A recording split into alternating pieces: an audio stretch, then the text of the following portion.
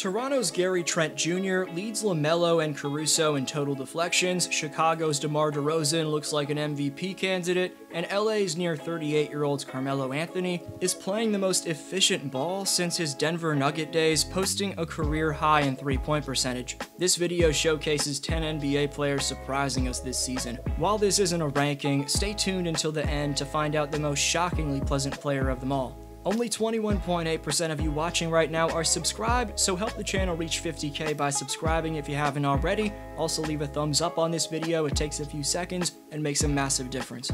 Number 10, Gary Trent Jr.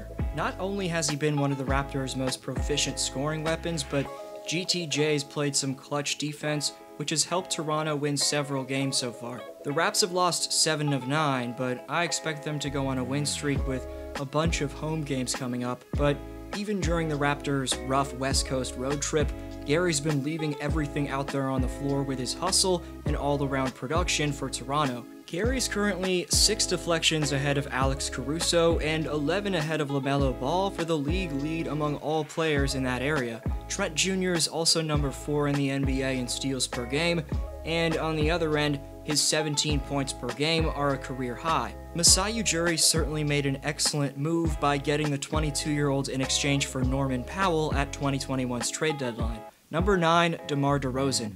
Out of all the superstar-esque performances that Debo's had thus far, my personal favorite came in his hometown of LA. He turned down the Lakers in free agency, so dropping 38 at Staples, I mean Crypto.com Arena, was stone cold for DeMar. DeRozan's 26.3 points per night are good enough for 6th best in the entire NBA. He's also posted at least 30 points six times, with still three quarters of the season remaining, and Debo's only failed to score 20 points in four of the Bulls' 18 games. DeMar's arrived in Chicago and fueled a Bulls team that hadn't made the playoffs since 2017 to the first seed in the Central Division.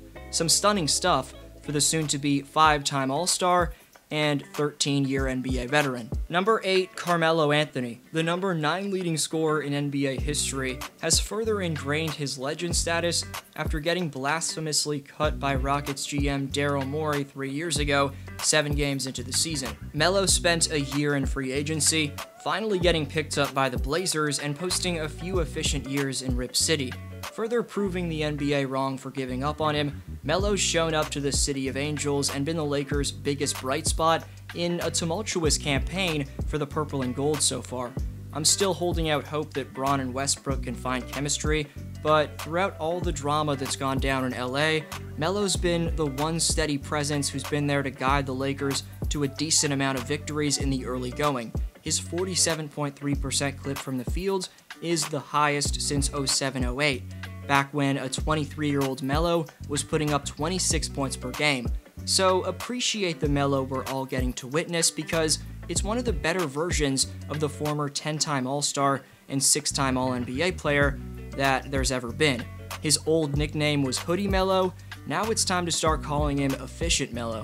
Number 7, Jonas Valanciunas. Without Ingram and Williamson to kick off the season, JV had to carry the load for the bottom feeding Pelicans, and he's been shockingly productive. You won't believe it, but Valanciunas Jonas Valanciunas is currently leading all NBA players in three-point percentage. Taking two triples per game, the Lithuanian center is making 56.4 of those shots. Valanciunas is also top 3 in the NBA in rebounds per game. Number 6, Jordan Poole. If you're a returning viewer, you've seen this man talked about endlessly in my recent videos, but Poole is going to be one of the top candidates for the Most Improved Player of the Year award given his elite two-way impact. Jordan's calling card has been his ability to replicate the impact of Curry, but his defensive play goes under the radar.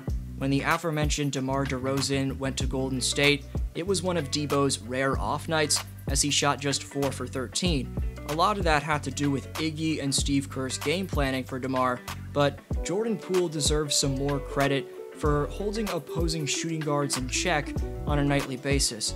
Jordan's currently number one among all players at his position in defensive rating. Number 5, Tyrese Maxey. An absolute godsend for the heavily banged up Philadelphia 76ers, Tyrese has vitally broken out into a star caliber floor general. Without Tobias Harris, Joel Embiid, and of course Mr. Drama Ben Simmons, the 21 year old sophomore Tyrese qualifies for the Sixer lead in scoring and assists. With 19 and 5 averages on 40% shooting from three point range, Tyrese has helped Sixer fans forget about Ben Simmons. Number 4, Montrezl Harrell. A brute force up front, Harrell's proving in the nation's capital that Frank Vogel and the Lakers should have given him more playing time in last year's playoffs. But Montrez has heavily benefited off the change of scenery to DC, as he's making a career best 65.3% of his field goal attempts, which is good enough for fifth best among all players. The scoring outlet down low he's provided to Bradley Beal and Spencer Dinwiddie has been crucial, and he's getting Washington's high volume scores, extra possessions. Harrell's currently 17th league wide in contested offensive rebounds per game. Number 3, Jalen Brunson.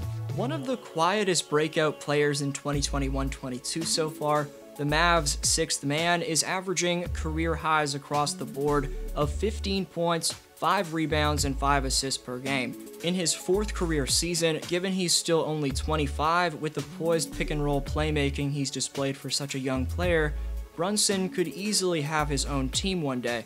For now, Brunson's a proficient backup for Luka, who leads a group of underrated yet valuable Maverick role players. Number 2, Grayson Allen. Once known as the dirtiest player in not just college basketball but worldwide, the product of Duke has turned around his reputation in the pros. It's hard to recall one instance where Allen's taken his dirty plays from the Blue Devils over to the NBA, but the reason Allen cracks this list is because he's made notable progression in his fourth year as a pro. Splitting his first three years in Utah and Memphis, Allen did shoot 40% from beyond the arc, but he only posted around 10 points per night in those previous seasons. In Cream City, Allen's nearly tripled his scoring from his rookie year a few seasons ago, and given he's posting an NBA 16th best 43% from three-point range, the Bucks made one hell of a free agency pickup. In terms of Milwaukee's role players, Bobby Portis has been outstanding, but the Bucks needed some help to replace Bryn Forbes and Tucker's three-point shooting. Grayson has done just that. Number 1, Miles Bridges. He's still the frontrunner for the most improved player of the year as he's morphed into Charlotte's number 1 scorer, but his efficiency has fallen off a bit this month. Bridges is almost doubling his next highest three-point attempt average, as in 2021-22, he's taking seven threes per game. Scarily for his opponents, Miles was making 37% of those attempts in October, but that's fell to 28.7% this month. I'll certainly have my eye on whether or not Bridges keeps up his breakout year, but as I said, for now, he has to be number one in the MIP race, especially considering Charlotte's battling for one of the top seeds in the Eastern Conference right now, and as I said, Miles is the leading scorer. The most shocking player to me has to be either DeMar DeRozan or Jonas Valanciunas. I don't think anyone before the season could have predicted that these two former Raptor teammates would be playing as well as they are right now. I did predict DeMar would shine with the Bulls by making this video, but man oh man, Debo's looked way better than expected. As for Jonas, he's just ahead of reputable snipers in Patty Mills, PJ Tucker, Joe Harris, and Melo in three-point percentage. Jonas freaking Valanciunas. For God's sakes. For next video shout out, let me know your most shocking player in the comments. Community Speaks winner for today is Jack Greenway, who says, I feel like Draymond Green is underrated to everyone who doesn't deeply love basketball and shedding some light on how good he is defensively would be amazing. Thanks Jack, I'll definitely make a Draymond vid at some point. The top three commenters with the most shoutouts by the 25th of December are going to receive NBA merchandise in the holiday season, so leave your take on today's question to compete in Community Speaks. This was D Flow, and I'll see you next video.